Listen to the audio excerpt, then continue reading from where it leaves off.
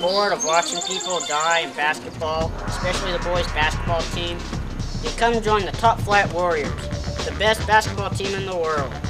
We've beaten everybody by 50 points or more.